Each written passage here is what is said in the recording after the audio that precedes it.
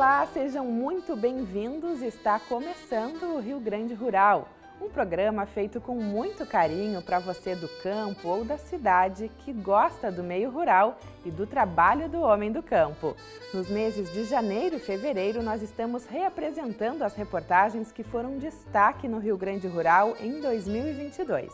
Nessa edição, você vai ver a simplicidade do meio rural, a hospitalidade e a produção colonial são destaques do turismo rural no município de Vila Flores. Em Liberato Salzano, famílias produtoras de leite estão investindo e melhorando suas áreas de pastagem para evoluir na atividade. A Força da Mulher no Campo, em Santo Antônio da Patrulha, programa de fomento à inclusão social e produtiva, melhora a vida e o trabalho de agricultora. Bom Princípio, a capital gaúcha do Moranguinho, realiza o primeiro censo da cultura. E na receita da semana, como fazer espetinhos de morango.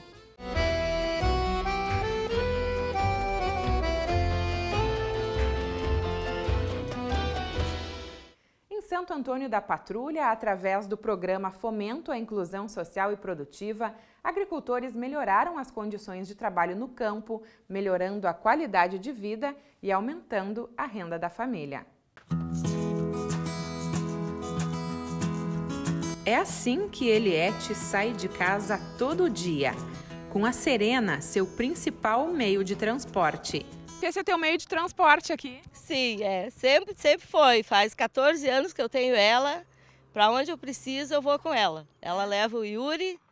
De manhã cedo, a gente sai daqui 5 horas da manhã para pegar o ônibus, que passa 20 para 7.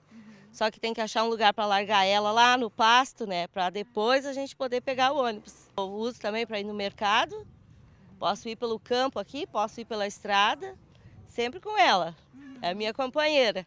Proprietária de uma área rural na localidade do Lajeadinho, no município de Santo Antônio da Patrulha, Maria Eliette Barbosa da Rocha foi uma das contempladas do programa Fomento à Inclusão Social e Produtiva. moro aqui com os meus dois filhos, um estuda de manhã, o outro à tarde, né?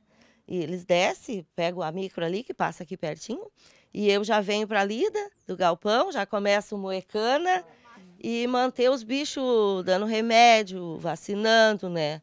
Uh, cuidando do, do, alimento deles também. É. A minha vida é essa, já vou para dentro, já faço um fogo, no fogão a lenha. Tudo que tu consome, tu produz aqui? Produz aqui. Aqui nessa cesta é tudo produção da casa? Tudo produção da casa, uhum, com certeza. A gente colhe moranga, a gente colheu bastante milho, isso aí só uma amostrinha. Tenho minhas frutas, meus limão, minhas bergamotas, minhas laranjas, meu chuchu, que já estão até brotando, prontos para plantar minha semente de alho. Ali o triturador, que eu moo também cana para os bichos e para... Aproveito também, já boto para as galinhas, né? E essas galinhas eu já estava criando aqui, antes de, de eu receber a ajuda da Emater, né? Eu já criava as galinhas, só que eu não tinha um galinheiro para me tratar delas e nem lugar para colher o ovo, né? No momento que começar a produção já, já, já vai aumentar. Com recurso do governo federal, o programa Fomento à Inclusão Social e Produtiva foi executado pela Emater em parceria com as secretarias de Agricultura e Assistência Social do município. A gente fez a busca ativa né, no município através da relação que o CRAS nos passou pela Secretaria de Desenvolvimento Social. São 31 famílias beneficiadas. Né? Nós temos aqui no Lajeadinho, Roça Grande, Barrocada, Rincão do Capim, Morro Grande, Morro São Miguel e Sertão do Cantagalo. São 31 famílias que estão hoje né, uh, com uma alimentação melhor, com uma atividade melhor e que melhoraram também as suas condições de vida. Aqui a gente está na horta, então esse espaço aqui não tinha antes uh, de tu participar do programa, é isso? Não, não tinha, não tinha nada, era só campo, só grama. Daí quando começou a vir, a gente já começou a providenciar a tela e já passamos o arado para mexer bem a terra. E daí com o dinheiro, né, já veio as mudas já está já tá tendo muita ajuda na, na hora da comida, né? Já tem um verdinho para comer, já é bem melhor, né? O que, que, mais tu está plantando aqui? Plantando alface, tem cebola, tem beterraba, tem a rúcula, os rabanetes aqui, cebolinha, salsa, tem couve, couve manteiga, Uhum. Tem lá no cantinho berinjela, uhum. Que a gente gosta muito. Saladinha já está garantida. Sim, já está garantida. Já dá para pegar já para ir comendo. Vladimir, como é que foi a chegada de vocês aqui? Uh, a gente chegou assim, uh, fomos através de uma busca ativa, né? Uh, eu já trabalhava na comunidade aqui, né? tem a comunidade é tradicional, já temos pessoas que têm possuem essa agroindústria, mas a Eliette a gente não conhecia. Então foi através de um trabalho da Emater juntamente com a assistência social, a gente buscou no cadastro único lá o nome dela e viemos conhecer, ver onde é que ficava a propriedade. A gente chegou, teve que uh, caminhar, como vocês estão vendo aqui, ó, é difícil acesso, não tinha nada de acesso, até se atolemos no, no banhado aqui, estrada. não tinha estrada. E daí colocamos para a Eliette desse projeto uh, Fomento Produtivo, que tem como ênfase a, a produção de alimentos, né? no caso aqui a horta, uh, e a produção de frangos aí, de galinhas aí para os ovos, né? E o excedente para eles comercializar aqui na, na comunidade, né? Mas o principal é para o sustento familiar, né? Então, e por minha surpresa, assim, ela chegou assim, ô Vladimir, que coisa mais boa que tu, tu, vocês trouxeram, tu e a Márcia estão trazendo aqui, ó, porque o meu sonho é aqui é ter uma horta e criar umas galinhas e melhorar também a questão do nosso campo aqui, né? Porque ela tem as vaquinhas dela aqui, então agora o próximo passo é a gente melhorar a, a parte da, das pastagens, então, fazer esse trabalho de melhoramento, assim, na, na, introdução de novas variedades. Essa estrada por onde a gente entrou de carro, por exemplo, não tinha, né, antes do projeto. Vocês entravam por ali e tudo a pé, como é que era? Sim, tudo subia ali pela, pela grama ali, inclusive a Márcia e o Vladimir subiam por aqui e me encontrar lá em cima, lá na casinha. Não tinha essa estrada aqui. Te encontraram praticamente escondida na casa ali. Escondida, escondida na casa. Sem uhum. acesso de carro? Sem nada, nada, só a cavalo e a pé, porque não, não, nem, não tinha nem porteira para entrar. Hum. Eliette divide a rotina de trabalho no campo com os cuidados com o filho. Eu acabei descobrindo a doença do meu filho, que foi eu vim para cá, que ele se movimentar, caminhando para lá e para cá, aqui dentro, subindo as lombinhas que eu comecei a ver que o meu filho também tinha problemas, né? E daí foi dia diagnosticado com um Duchenne. Yuri sofre com uma distrofia muscular, uma doença degenerativa que leva à perda da capacidade de locomoção. No caso, ele está no limite, ele está com 10 anos, né? E essa doença aí, ela já, eu já conheço bem, porque teve já na minha família três casos, né? Então a gente está na luta aí com fisioterapia, estou tentando conseguir hidro, hidroginástica para ele e tudo, para a gente melhorar. A gente tem que ir a Porto Alegre, né, fazer as, as consultas com a neurologista, uhum. e isso aí é de mês por mês, assim. Uhum. E ali eu estou fazendo as, as fisioterapias. O que é mais dificuldade para mim, assim, é eu sair daqui para ir lá para pegar o ônibus, né? Uhum. Mas a gente vai, vai, vai lutando e vamos conseguindo. Yuri acompanha a mãe no campo e se diverte escolhendo os nomes dos animais. Fala o nome. Aquela é Bela. Aquela é Bela. Essa daqui é a pipoca. Esse é o pompom. Uhum. E aquele lá é o espiga. Por que, que ele é espiga, filho? Porque a mãe dele é pipoca e ele é o espiga. E tem um aí que vai ganhar mais um nenê. Uhum. É a Bela. E o filhote da Bela nasceu no dia seguinte da gravação. Vai se chamar Pluma. Essa é a casa da Eliette, que antigamente era apenas uma cobertura que servia de abrigo para as cabras. Depois ela ganhou as madeiras e ela mesma construiu a casa em que ela mora hoje com os filhos. É isso aí, Eliette, tudo aqui foi construído por ti? Foi, foi. Com a ajuda também do meu ex-marido, né, que me ajudou aqui.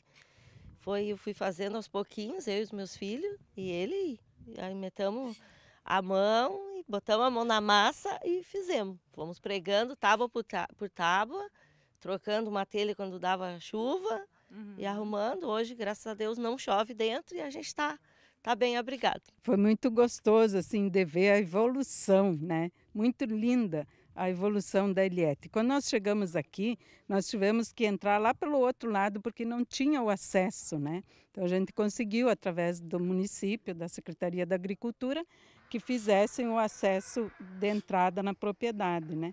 E a Eliette é muito parceira, tudo que a gente propõe, ela se coloca à disposição para inovar. Né? Ela vai mudando na questão da alimentação, quantas dicas a gente já trabalhou com ela né? Para melhorar a qualidade da alimentação. É isso que, que vale a pena a gente ver, né? A mudança de qualidade de vida a alegria que ela tem, a alegria dos filhos dela, né? E tudo que o que a gente consegue para ela é uma vitória. Uhum. Famílias acompanhadas por nós, né, diariamente, famílias em situação de vulnerabilidade, neste caso em extrema, né, vulnerabilidade social. E hoje a prova aí, né, de que a Eliette fez valer todo o, benefício trazido através da Emater uh, com um valor expressivo, né, para um investimento. Hoje nós tivemos o prazer de conhecer tudo que ela conseguiu fazer uh, uh, acontecer e render então frutos uh, daquilo, de todo o empenho dela, de todo o empenho da Emater com este importante programa e com toda a parceria né, da Secretaria de Agricultura. E quando tu retorna e constata né, que tudo deu muito certo porque eles fazem a sua parte, são merecedores deste investimento, é o que gratifica, é o que recompensa e a gente deseja, com tudo que vimos aqui hoje,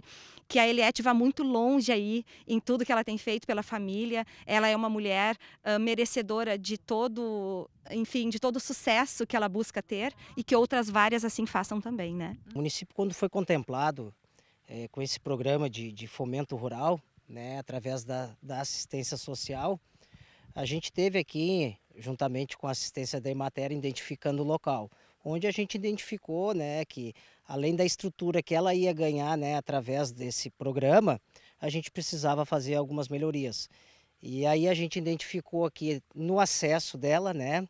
Propriamente o bebedouro que ela tinha aqui, que estava muito sujo e, e, e, com pouca água, né? Em função da estiagem, a gente então também veio com a máquina melhorar a, a questão da, da, da, da, água dela aqui para os animais, questão da estrada. E como vocês viram ali também, a secretaria está distribuindo, né? Que é um resíduo de podas trituradas aí na, na, na área urbana e que a gente também está contemplando. Então, isso também veio a agregar e somar aqui para esse trabalho desenvolvido junto com a Emater, né, junto com a assistência social, que é trazer condições né, para a Eliette e para as outras pessoas no município que foram contempladas para é, eh, esse sustento, né, que é as pessoas é, criarem os seus animais ali, ter a sua horta e, e produzir o seu próprio alimento.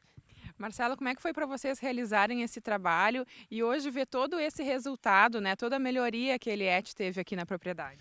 Isso é maravilhoso, né? principalmente aqui na casa da Eliette, hoje em particular, pelo capricho que ela tem, né, que ela conserva aqui a propriedade. Isso para nós é sensacional, é fantástico. E hoje a gente pôde aqui ver que realmente funciona quando a gente trabalha em parceria com a comunidade, com a Emater, né, com as pessoas que realmente querem fazer com que as coisas aconteçam. Isso aí para mim é um sonho realizado que aonde eu morava não era o meu lugar. Eu queria mais, que é morar mais para fora, criar os meus bichos, aumentar a minha produção de alimento melhor, mais saudável para os meus filhos, né?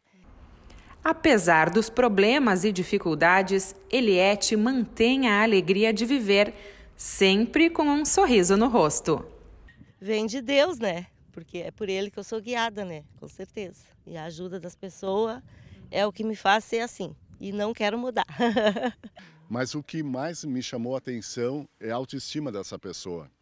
Todas as dificuldades que ela tem, assim, ó, desse trabalho, dessa vontade. Uma mulher aqui com duas crianças sem as mínimas condições, 41 anos de extensão aqui no município, né? Que nosso lema é, é semear ideias para colher alimentos. E essa pessoa aqui me nesses 41 anos de, de, de, trabalho, foi a pessoa que mais me emocionou de todos os avanços que a gente conquistou aqui em São Antônio da Patrulha. E não quero sair daqui, porque aqui eu tenho certeza que eu vou dar uma boa alimentação para o meu filho, comer bastante coisas da horta, que o fomento também da Imater me ajudou muito, me compraram as, as mudas, me ajudaram bastante. Então a gente tem uma alimentação melhor, um leite para tomar né? Eu acredito que aqui tá bom demais.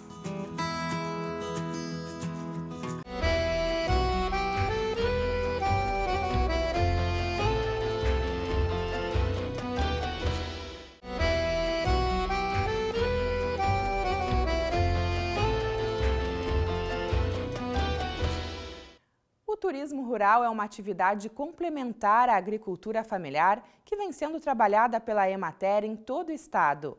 No município de Vila Flores, a procura pela simplicidade do meio rural, a hospitalidade e a produção colonial atraem cada vez mais visitantes e favorecem a manutenção das famílias no meio rural, com geração de renda e qualidade de vida. Conheça agora duas das 11 agroindústrias familiares do município e dois empreendimentos de artesanato e vivências que fazem parte da rota de turismo rural do município. Para alguns, esta cena pode trazer memórias, para outros, novas experiências. Na propriedade da família Cardoso, na comunidade São Jorge, em Vila Flores, os visitantes podem ter contato com as galinhas, alimentá-las, observar o seu comportamento, coletar ovos, além de adquirir os ovos coloniais.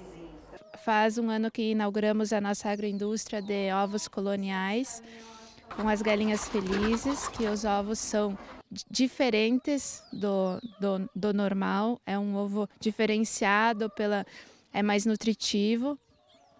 E também agora começamos com a o turismo rural. O que, que mais encanta os visitantes que vêm aqui, tanto adultos como crianças? Ah, com certeza as galinhas. Sim, ficam encantados. Sempre que vem as galinhas alimentar ou fazer a coleta dos ovos, o pessoal, tanto criança como adulto, idosos, sempre fica bem encantado é, com as galinhas. Ela é bem dócil e é um animal muito curioso.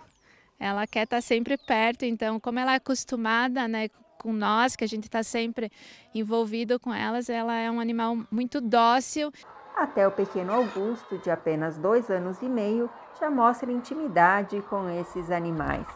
Atualmente, a família cria cerca de 450 galinhas livres e comercializa os ovos na propriedade, na feira e municípios vizinhos. Na propriedade diversificada e sustentável, Outras atividades que atraem o interesse dos turistas são a produção de alface e rúcula hidropônicas e uma trilha para se exercitar e aproveitar as paisagens e a paz que o meio rural proporciona. Nosso segundo destino é a Arteria Arte que Inspira. Aqui, os visitantes encontram artesanato místico, produzido com diversas técnicas e materiais pelo casal Graciane e Jefferson, que também conduz caminhadas pela mata. Tanto o artesanato como as caminhadas buscam proporcionar bem-estar e qualidade de vida para as pessoas. Nós da arteria uh, queremos proporcionar com a caminhada um momentos de contemplação uh, do ecossistema local, Uh, procuramos oferecer vivências, uh, permitindo uma reflexão, uh, proporcionando relaxamento, bem-estar para todos os visitantes que aqui estão. E entre tramas e fios, ao final, o visitante produz um filtro dos sonhos, ao qual ele pode levar como um amuleto da sorte, né? como um, é uma simbologia da nossa caminhada, para que essa pessoa possa levar consigo um pouquinho do que vivenciou aqui na caminhada. Benéfica para o corpo e a mente, a caminhada tem duração de aproximadamente 2 horas e 15. Depende muito do grupo, né? A gente costuma personalizar as caminhadas, as vivências também, mas sempre de acordo com a necessidade e a, e, e a personalidade do, de cada grupo mesmo. As pessoas chegam geralmente muito introspectivas, né?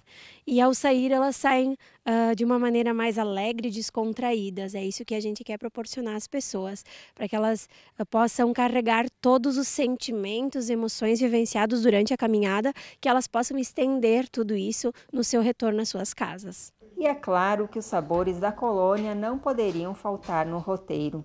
Nossa próxima parada é na agroindústria familiar Rui, a primeira a ser legalizada no município com o auxílio da Emater e que já tem uma trajetória de 22 anos.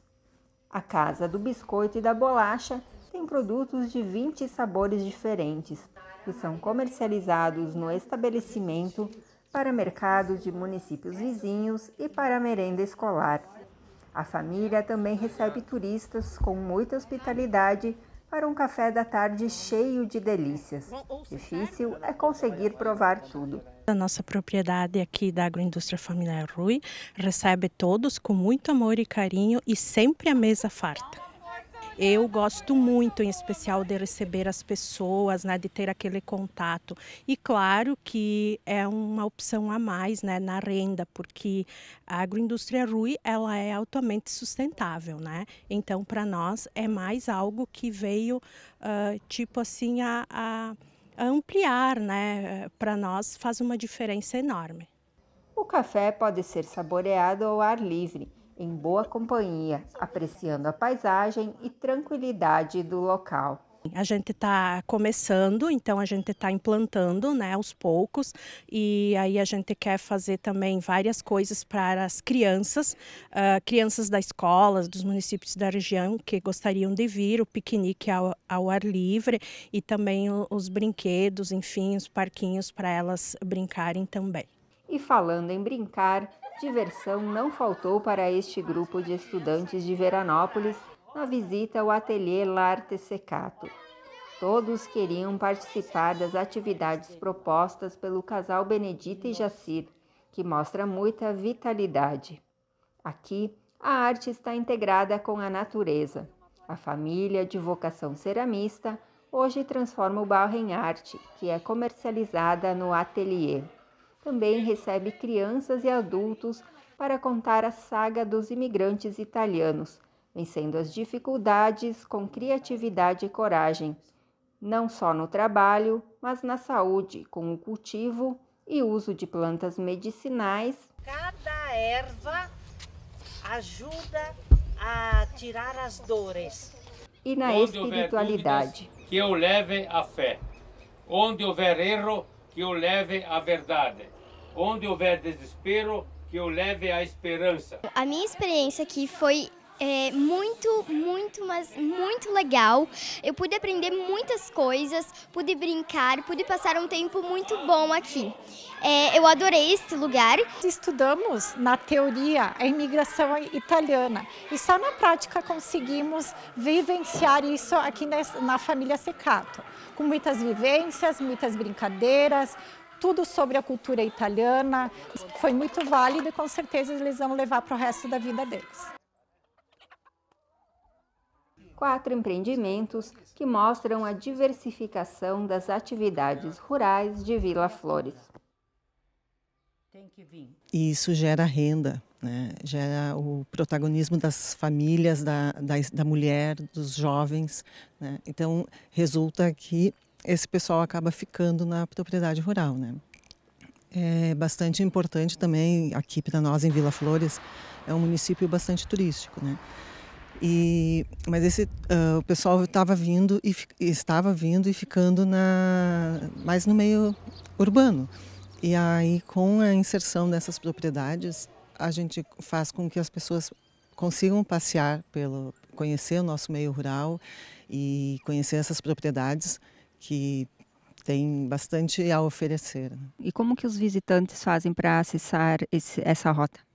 Nós temos vários canais de divulgação, né? uh, através de folders, uh, através de, de, outros estabelecimentos turísticos também que divulgam a nossa, a nossa rota e principalmente pelas redes sociais, tanto da, dos empreendimentos, quanto da prefeitura municipal, quanto da própria matéria. Eles funcionam por agendamento. É, quase todos por agendamento.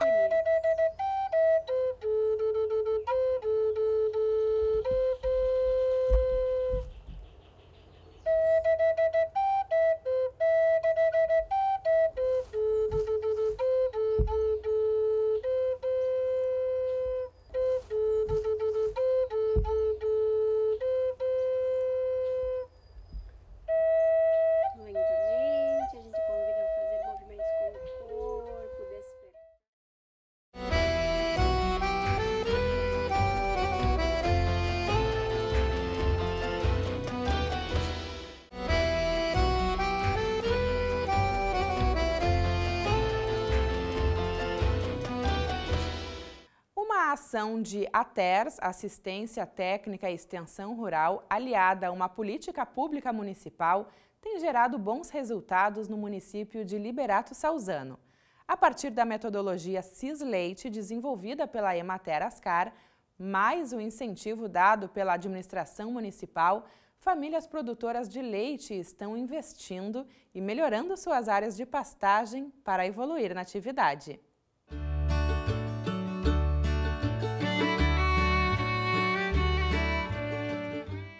Projeto de assistência técnica para o desenvolvimento de sistemas sustentáveis de produção de leite, o CISLeite, é uma metodologia desenvolvida pela Emater para trabalhar com as famílias produtoras de leite no Rio Grande do Sul. Esse trabalho é realizado em todo o estado e na região norte ganhou destaque, tornando-se uma ferramenta prioritária na assistência técnica às famílias rurais. Leite é o nosso projeto de assistência técnica, né, que envolve famílias que produzem leite à base de pasto com suplementação e ele está presente em 41 municípios da nossa região.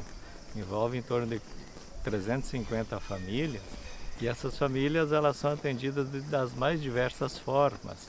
E aqui em Liberato Salzano ele tem a sua característica um pouco diferente das demais, porque as 16 famílias que são atendidas no projeto Cisleite, elas acessaram uma política pública municipal, então temos um programa municipal de apoio à atividade leiteira e a Imater entra com o serviço de ATERS. Então as ações individuais e coletivas são executadas pelas nossas equipes, pelos técnicos da, da secretaria, sempre uh, levando em conta ações buscando o desenvolvimento dessas famílias produtoras de leite que têm uma escala menor eh, de produção. É importante falar que, além do, do projeto em si, se trabalha com o grupo de mulheres e se trabalha com a atividade que hoje é muito forte na nossa região, que é o uso da homeopatia na produção de leite. O atual cenário da atividade leiteira em Liberato Salzano foi o que motivou a criação da política pública municipal, que visa o fomento e a qualificação da produção de leite no município. Atualmente, então, no município de Liberato Salzano existem 95 produtores de leite, né? Ah, o que fez com que nos últimos cinco anos foi reduzido de 145 produtores para esses 95 produtores que existem atualmente, né? Então teve uma redução de praticamente 40% produtores e em torno de 20% do volume coletado né, nesses últimos cinco anos. Então, é da, diante desse cenário, então a Secretaria da Agricultura, até decidiu fazer esse programa municipal chamado Mais Pasto, Mais Leite, Mais Renda, né, onde que visa principalmente fazer a implantação desse das pastagens perenes nas propriedades rurais participantes do programa e assistência técnica prestada pela Emater e pelos técnicos da Secretaria Municipal de Agricultura através da metodologia do CISLEI. Diante dessa metodologia adotada, então, primeiramente foi feito o diagnóstico de todas as propriedades participantes, né, que são 16, e ah, foi iniciado com a coleta de solo, a amostragem de solo e a recomendação técnica para adubação e implantação dessas pastagens visando o aumento da produtividade do, do, rebanho desses produtores. Então, esses pequenos produtores que participam do programa visa principalmente fazer a manutenção deles no meio rural com a renda que é importante da atividade leiteira para essas pequenas propriedades, né? Ah, e a melhoria também tanto econômica como social dessas famílias.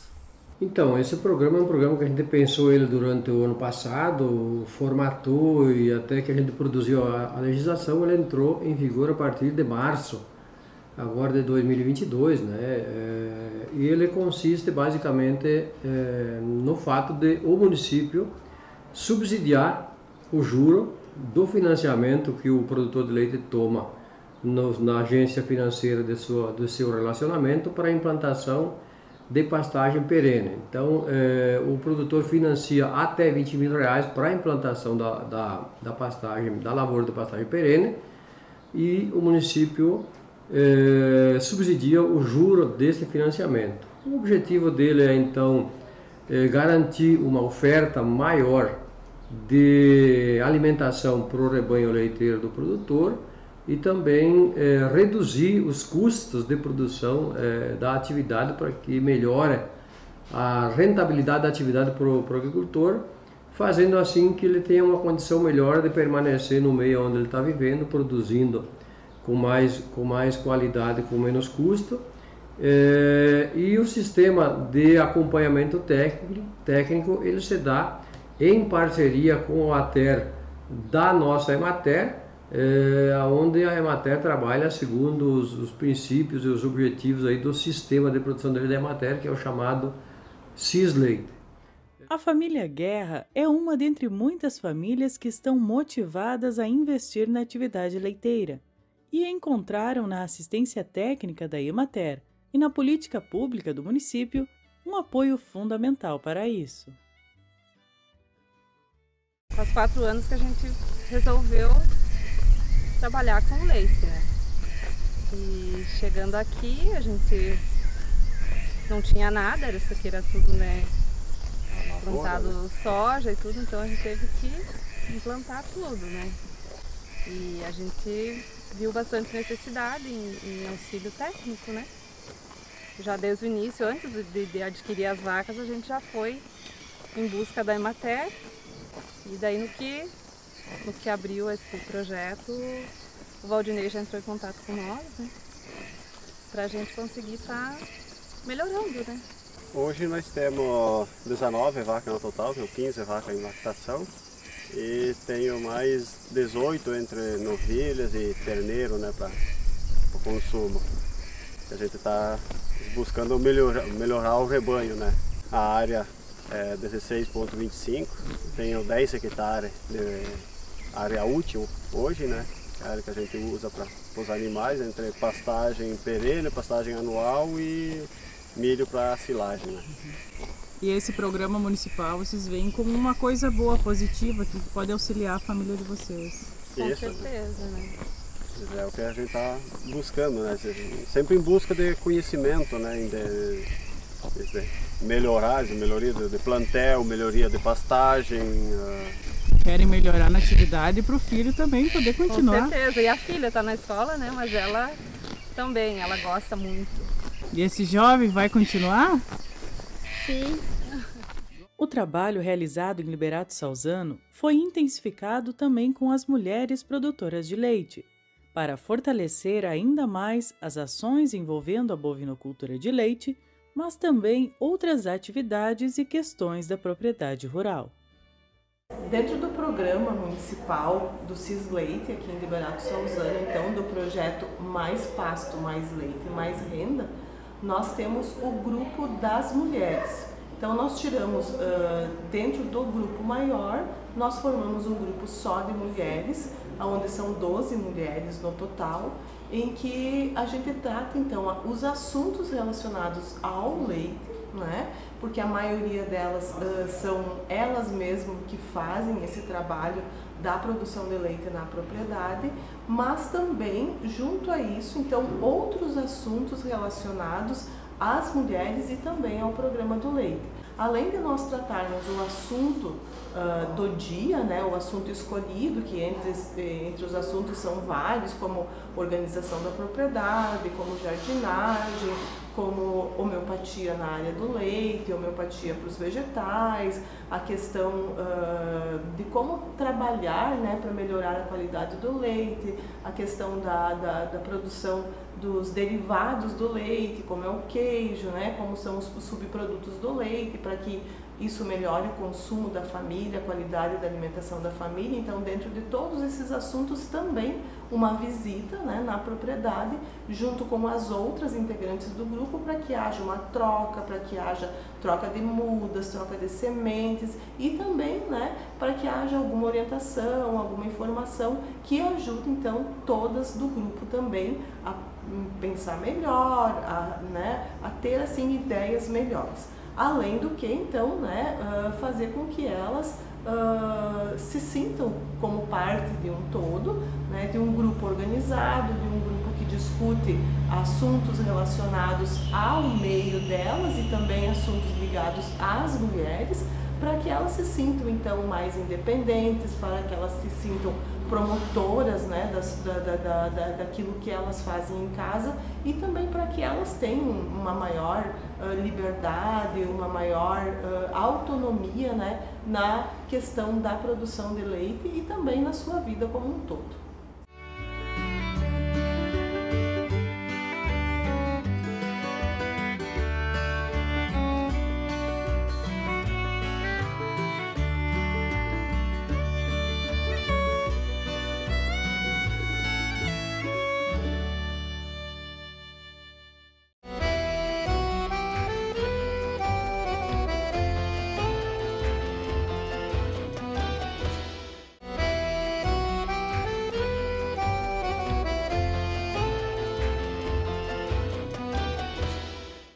Bom Princípio, a capital gaúcha do Moranguinho, realiza o primeiro censo da cultura.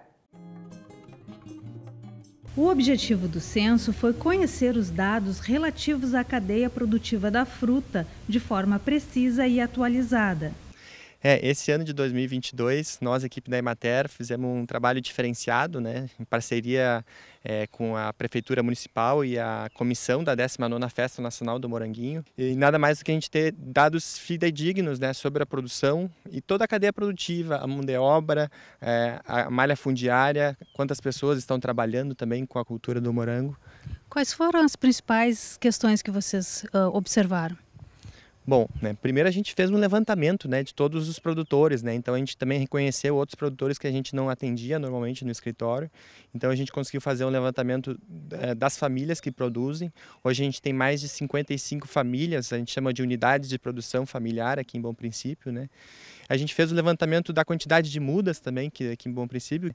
Hoje a gente tem mais de 1 milhão e 35 mil mudas de morango em produção é, de morango comercial aqui em Bom Princípio. Né? O censo também serviu para dar voz ao produtor. E essas visitas que a gente fez durante é, todo esse levantamento, que a gente visitou mais de 70 propriedades, a gente foi um momento de escutar os produtores, né? Então a gente ouviu as, os problemas, as necessidades que eles tiveram, né? Uma das informações que aparecem e que chamou a atenção dos pesquisadores foi de que 44% da mão de obra é de mulheres. É um número bem expressivo quando a gente compara com outras culturas é, agrícolas, né? Como a gente compara a cultura do milho, é, da alfafa, a bovinocultura de leite, que aqui também a gente tem um número expressivo a predominância de homens nessas outras culturas é muito maior. Então a gente vê um importante trabalho da mão de obra é, feminina, né, principalmente ligado à comercialização, o manuseio no pós-colheita, mas também na produção de, de, na lavoura também. Pelo levantamento, também foi possível mensurar o grau de satisfação com a atividade. Bom princípio, ele se destaca pela qualidade do morango, né? Quando a gente vê um morango aí, a gente conhece reconhecer que é aqui de Bom Princípio ou da região, porque os produtores já têm muita tradição no cultivo de morango. A gente fez o levantamento. É, muitas famílias vêm passando de tradição em tradição, né, de um, de um avô para o pai, para o filho. Então a gente vê enraizado muito forte neles, né, na família, a questão da produção. E isso se reflete no, na satisfação que eles têm em produzir morango. Né? Então eles produzem morango de qualidade, é, não é, a gente, a Bom Princípio não é um dos maiores produtores é, do Rio Grande do Sul, né? está entre os 10 maiores, é, mas a gente vê uma qualidade superior comparado a outros municípios que produzem maior quantidade. Né? É, tanto que o mercado sempre prefere quando é um morango de bom princípio. E o resultado desse levantamento deverá servir principalmente como referência para a qualificação da cadeia. A gente fez uma radiografia, a gente mapeou todas as propriedades que a gente tem aqui em Bom Princípio, né? E isso a gente vê que vai nos qualificar, né? Dar informações para a gente trabalhar, nós como agentes de extensão rural, e também em parceria com a Secretaria da Agricultura a Prefeitura Municipal, é desenvolver outras políticas públicas que já existem aqui em Bom Princípio. Né? Bom Princípio já tem é, duas políticas públicas ligadas diretamente à produção de morango, que é o incentivo para compra de, de mudas de morango, que é o bônus da muda de morango, que a gente chama, e também é incentivo para construção de estufas. Né? Então, com isso, a gente pre pretende ampliar é, e qualificar cada vez mais essas políticas públicas. Aqui nós estamos numa lavoura orgânica, né? Esse censo trouxe alguma informação nesse sentido? Sim, é, aqui Bom Princípio a gente tem um grande número de produtores orgânicos, né? A gente tem comparadamente a gente tem 16% de, são propriedades orgânicas, né? Acho que pegar outro município, acho que não tem tantos produtores que nem aqui. É, outro dado também que a gente levantou é que muitos estão ligados a algum sistema de associativismo, Aqui em Bom Princípio a gente tem a Associação dos Produtores de Morango, a Bom Morango, e também temos a Cooperativa de Produtores de Morango Ecológico, a Ecomorango. Em torno de 60% desses produtores estão ligados a uma ou outra dessa, desses grupos organizados que a gente diz, né?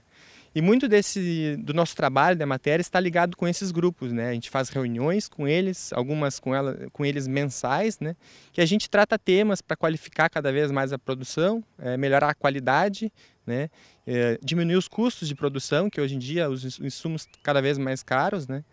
E, e diminuir principalmente a questão do uso de agrotóxicos. Né? A gente agora tem a, a questão dos bioinsumos, a gente está trabalhando bastante forte essa parte de ver alternativas para o uso de agrotóxicos na produção de morango. E nós fomos conhecer um pouco mais da Eco Morango, uma das cooperativas que une os produtores ecológicos do município. A Eco Morango nós consideramos uma riqueza, uma conquista, porque ela continua já há 22 anos e é um trabalho assim que foi conquistado né, é, através de muita construção coletiva, reuniões participativas, mutirões.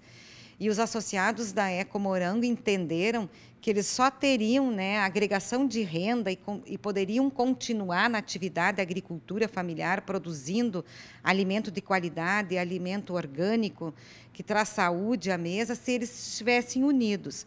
Mas é, eles são acompanhados pela assistência técnica Rural, a Emater, e também a unidade de cooperativismo da Emater Central Porto Alegre. Então, agora eles estão bem maduros, né, porque eles eh, têm esse sistema de, de autoajuda, mas eles sentem que a Eco Morango, firme e forte, é garantia de renda para as famílias cooperativadas. Mas a Eco Morango não é uma cooperativa só de moranguicultores. Ela reúne diferentes agricultores que produzem diversas outras culturas a, a questão dos orgânicos é para produzir a fruta símbolo do município, né, com, com, a, com o orgânico e, e dando né, mais possibilidade de ter um alimento seguro mas temos outras, ah, os cooperativados produzem uma infinidade de produtos, né? Olerícolas, frutas, né? E o próprio morango. Com mais de 20 anos de existência, a Eco Morango tem colaborado na sucessão familiar no município. Né, a agricultura familiar é a família como um todo na propriedade. E nós vimos isso né, acontecer na Eco Morango, a sucessão familiar, porque os filhos dos cooperativados, eles veem que tem agregação de renda. o fato de estar cooperativado, de estar fazendo feira, então se tem dinheiro vivo, digamos, toda todo pós-feira. Então, o jovem ele enxerga que ele que tem agregação de renda, que tem renda na propriedade. E os jovens só ficam onde tem renda, né? Porque saindo no mercado né, de trabalho, uh, as leis trabalhistas, os jovens teriam férias, teriam uh, o 13 terceiro, né? Todo, toda essa parte legal, enquanto que na agricultura é por safra, né? Então eles se comparam com o jovem urbano, mas se, se tem renda através das feiras, eles ficam na propriedade e eles têm esse incentivo para continuar. E nós fomos até a casa da Patrícia, que faz parte de uma das famílias fundadoras da Eco Morango, para conhecer um pouco mais dessa história. A nossa cooperativa tem um orgulho de produzir produtos orgânicos, acima de tudo, levar a saúde para os nossos clientes. Nós somos uma cooperativa que já tem 22 anos. Ela é, foi criada por vários associados e nós temos a honra de ter a nossa sede, que é do Centro de Bom Princípio. Hoje a gente vende a fruta símbolo, morango, entre outras verduras e frutas. A cooperativa já existe há 22 anos, né? Tu é uma sócia fundadora. Como é que foi? Me conta um pouquinho dessa história, da tua história pessoal. Na verdade, na época eu era mais nova, né? A minha família começou e eu fui aprendendo com eles a como era trabalhar numa cooperativa, na verdade. O meu pai, a minha mãe, o meu irmão, na verdade, já trabalhavam e eu entrei junto, abracei essa causa. Tenho orgulho estar fazendo parte da cooperativa. E é a história de família, né? Com certeza. Patrícia, já estamos na terceira geração, com a Isabelle também já entrando no. Com muito orgulho. Assim, a história da cooperativa. São várias famílias e, dentre essas famílias, são vários associados na mesma família. E todos abraçaram essa causa, na verdade, né? porque a gente tem orgulho de levar o nome da Eco Morango para outros lugares. Nós levamos a nossa fruta e nossas outras verduras para Porto Alegre, para Caxias, onde a gente faz as nossas feiras, as feiras ao ar livre, né? E fora as outras vendas que a gente tem assim, que a gente leva o produto, né, para o cliente, leva o nome da cooperativa e com orgulho o nosso município.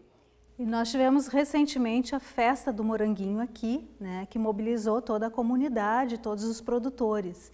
E a Michele, que está aqui, né? A Michele foi uma das vencedoras da, da premiação, é isso, Michele? Sim. Me conta um pouquinho que premiação é essa, como é que foi? Uh, são os, uh, tem 121 expositores assim que levam as amostras do morango lá na festa para o pessoal olharem, verem, conhecerem as variedades e a nossa variedade é a camarosa.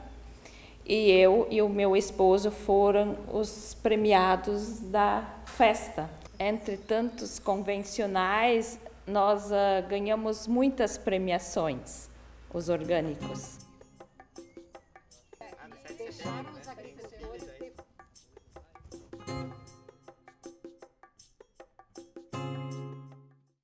E a receita de hoje é com a terceira geração das famílias Schneider e Liel. Um preparo simples, mas que é sempre o campeão de vendas nas festas do Moranguinho, espetinhos de morangos.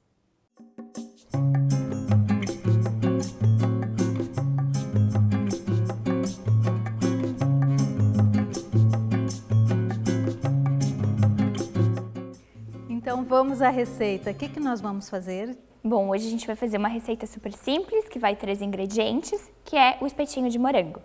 Mas é uma receita simples, mas ela tem uma história, né? Sim. Em, nos anos 90, o Clube de Mães, junto com a Emater de Bom Princípio, foram a Porto Alegre para realizar e fazer um curso de derivados de morango. E aí eles trouxeram essa receita que tem o ácido do morango, que combina o ácido do morango com a doçura e o glamour do chocolate, juntos numa receita só que fica essa combinação perfeita. Então vamos à receita e eu vou deixar as meninas aqui preparando esses deliciosos espetinhos de morango. Bom, aqui tem mais ou menos 250 gramas de morango, eles já estão higienizados. A gente coloca mais ou menos 4 a 5 uh, morangos, depende sempre do tamanho deles, né? Para não ficar demais. Aí a gente vai colocando assim, espetando aqui na pontinha do morango.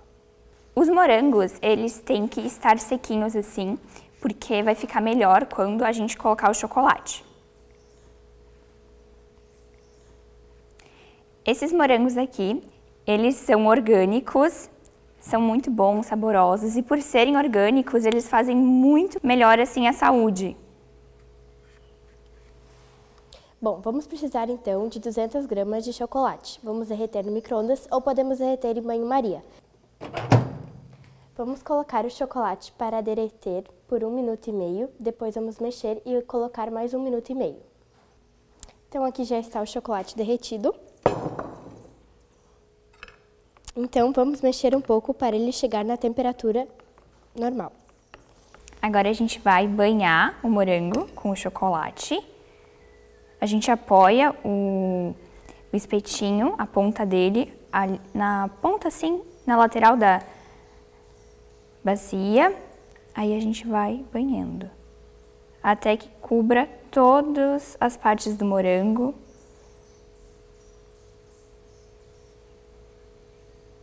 Dessa forma.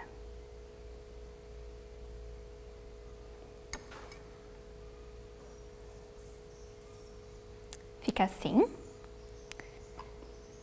Aí agora a gente coloca em uma outra vasilha, assim nas pontas, para que ele possa secar o necessário para a gente poder comer. Aí a gente repete o processo com os outros, sempre cuidando para não se queimar, porque o chocolate ele não está quente, mas não está frio, está morninho, né?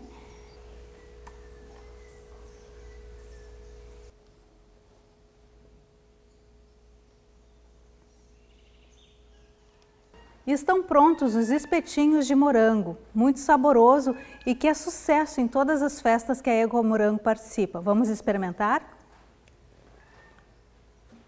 Hum. Aprovado? Aprovado. Aprovadíssimo.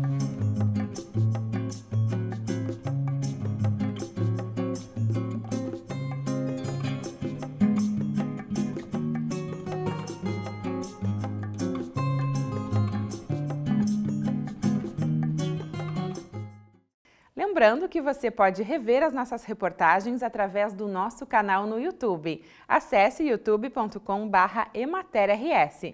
E se quiser mandar um recado para a gente, pode enviar através do YouTube ou para o endereço Rio Grande Rural, Caixa Postal 2727, Porto Alegre, RS.